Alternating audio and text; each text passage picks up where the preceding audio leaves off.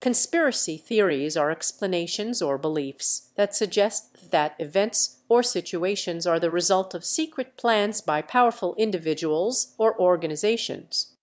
They often involve the idea that there is a hidden truth or motive behind certain events. While some conspiracy theories may have small elements of truth, most of them lack evidence and are based on speculation or misinformation.